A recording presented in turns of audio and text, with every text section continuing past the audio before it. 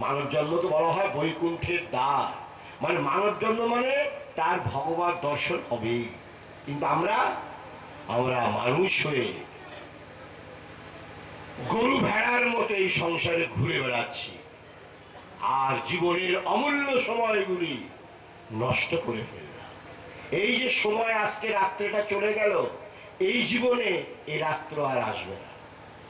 হয়তো কালকে রাত্র আসবে পশুদের এই একটা এটা সময়ের মানে অনমোল সময়। এই সময় কোনোদিন নষ্ট করা ঠিক না। এই জন্য ঋষিরা বলছেন, এমন মানব জন্ম রইল পতিত। আবাদ করলে ফলতো সোনা। মন তুমি কৃষিকাজ জানো না। ভগবান বারবার গীতায় বলছেন, তোমরা আমাকে স্মরণ করো। সংসারের প্রতিটি কর্ম আমার কর্ম। সংসারের প্রতিটি কাজ আমার কাজ। সংসারের প্রতিটি রূপ এ আমার রূপ। সংসারের প্রতিটি ধর্ম এ আমারই ধর্ম। প্রতিটি দৃষ্টি, সৃষ্টি, কৃষ্টি সব আমারই। সুতরাং তোমরা সংসার করো। সংসার করার নিষেধ কোথাও নেই। সংসার করো কর্তব্য বুদ্ধিতে আর ভালোবাসো আমাকে। সংসারকে ভালোবেসো না। সংসারকে ভালোবাসলে এই যন্ত্রণা ভয়ঙ্কর। যদি ভালোবাসতে হয়, আমাকে ভালোবাসো। ভগবান বারবার গীতায় বলছেন, যা কিছু হয়, আমাকে অর্পণ করো। তোমরা আমার কাছ থেকেই এসছো, আর আমার কাছ থেকেই তোমরা সবকিছু নিয়ে এসছো। এই সারা শরীর আমার কাছ থেকে ধার নিয়ে এসছো। এই শরীরের সবকিছু আমার কাছ থেকে নিয়ে এসছো, আর তোমরা আমাকেই ভুলে গিয়েছো। এই জন্য আমাদের সকলকেই গুরুদেবরা আসেন, বাড়ি বাড়িতে স্মরণ করিয়ে দেওয়ার জন্য যে ভগবানের জিনিস তোমরা চুরি করে নিয়ে এসছো। চুরি করাই তো হয়, আনার পরে যে জিনিসটা না ফেরত দেওয়া হয়, সেটা চুরি করাই হয়। গোবিন্দের কাছ থেকে আমরা নিয়ে এসছি, অথচ গোবিন্দকে আমরা ফেরত দিলাম না, যেটা চুরি করা হয় না। তাই গুরুদেব এসে বলেন, তোমরা চোর, এই নাও, মন্ত্র নাও, আর গোবিন্দর জিনিস গোবিন্দকে ফিরিয়ে দাও। গোবিন্দ তো আর তোমার জিনিস নিতে আসবেন না, তিনি তো আর ভিখারি নন। তিনি বলতে চাইছেন, আমার নাম করো, আমার নাম করলেই আমার জিনিস আপনা আপনি অটোমেটিকলি ফেরত চলে যাবে। ভগবানের নাম করতে হয়, ভগবানের ধ্যান করতে হয়, ভগবানের চিন্তা করতে হয়। তবেই তার জিনিস তিনি পেয়ে যান, এ নিয়ম। তাই গুরুদেব এসে তোমাদের সাধন দেন মন্ত্র দেন উপদেশ দেন, আদেশ প্রদান করেন তোমরা তোমরা কোথায় ছিলে? ওখানে ছিলে। আর এখানে চলে এসছো গোবিন্দ থেকে ধার করে। সেই ধার শোধ করতে হয় ধার বলতে এই শরীরটা এই শরীরটা তারই দেওয়া। আবার সময় মতো তিনি নিয়ে চলে যাবেন।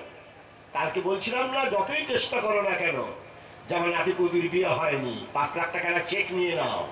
ব্যাস, আমাকে প্রসন্ন করে দাও। কোন? হবে সময় মতো চলে যাবে। এটা তোমরা চোখের সামনে দেখছ ভূতানি গচ্ছন্তে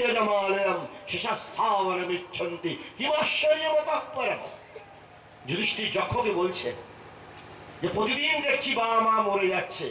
তাকে দোলায় করে আমরা নিয়ে যাচ্ছি। হরিবোল হরিবোল বলে শ্মশানে জ্বালাচ্ছি। তা সত্ত্বেও আমাদের মন মজে না। কৃষ্ণচরণে।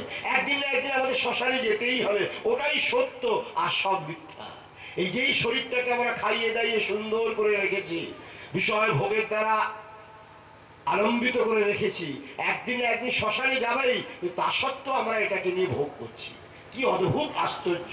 তাই যুধিষ্ঠির বলছেন যক্ষকে, সাত আশ্চর্যের মধ্যে এটা একটা আশ্চর্য। আমি আমার পিতামাতাকে নিয়ে যাচ্ছেন শ্মশানে, দুই দিন পর আমিও যাব, কিন্তু সেই দিকে খেয়াল নেই। এই সংসার বিষয় ননস্টপ করেই যাচ্ছে। কি আশ্চর্য! এর থেকে আশ্চর্যের আর কিছুই নেই।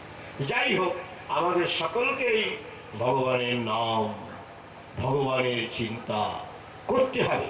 গুরুদেব বলেছেন, সেখান থেকে তুমি সব নিয়ে এসছো। এই জন্য ভগবানের নাম নাও, মন্ত্র নাও, এর মাধ্যমে মরণাৎ ত্রয়াতে যস্মাৎ তসমাৎ সমন্ত্র যাহা মনন করলে, স্মরণ করলে জীব ঊর্ধ্বগতি লাভ করে। তাকে বলা হয় মন্ত্র। যে যে গুরুদেব যাকে মন্ত্র দিয়েছেন, সব মন্ত্রের অর্থ এই, গোবিন্দ তোমার জিনিস তুমি নাও। মন্ত্র পিছনে দেবে স্বাহা, নমঃ, যাই হোক, যাই নাম থাক এই সকলের অর্থ হলেই গোবিন্দ তোমার জিনিস তুমি নাও। এই জন্য ভগবান গুরুদেবকে পাঠান। পাঠিয়ে তার কাছে নিয়ে যাওয়ার জন্য সুযোগ প্রদান করেন। কৃপা প্রদান করেন। জ্ঞান প্রদান করেন। অজ্ঞান তিমিরান্ধস্য জ্ঞানাঞ্জন শলাকয়া চক্ষুরুন্মিলিতম যেন। তস্মৈ শ্রী গুরবে নম। তিনি আমাদের চোখকে অপারেশন করে দেন। যেটা গতকাল বলছিলাম, তার দ্বারা আমরা গোবিন্দকে দেখি। সুতরাং আমাদের সকলকেই ভগবানের নাম, তার চিন্তন, ধ্যান, স্মরণ করতেই হবে। আর ভগবানের কৃপা দৃষ্টি, আশীর্বাদ দৃষ্টি আমাদের প্রতি অবাধিত ধারায় আছে, অবিশ্রান্ত ধারায় আছে, অসংখ্য অনন্ত ধারায় বর্ষিত হচ্ছে। এ বিষয়ে কোনো সন্দেহ ছোট্ট একটা ঘটনা বলি। ভগবান নারদ একবার রাজ্যের বৈকুণ্ঠ ধামে। ভগবান নারদের কথা তোমরা সকলেই জানো। উচ্চস্তরীয় ভক্ত ছিলেন ভগবান নারদ। তিনি ভগবানের কাছে যাচ্ছেন।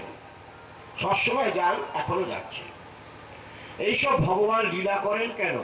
আমাদের মতো লোকের কল্যাণের জন্য জীব জগতের কল্যাণের জন্য, তাদের মঙ্গলের জন্য এইসব লীলা করেন। ছোট্ট ছোট্ট ঘটনা তারা বুঝাইতে চাইছেন, প্রভুর দৃষ্টি, প্রভুর আশীর্বাদ আমাদের প্রতি সর্বদাই আছে। বলো, আমরা সংসারকে জড়িয়ে আছি। প্রভুর কাছে আমরা যেতে চাই না।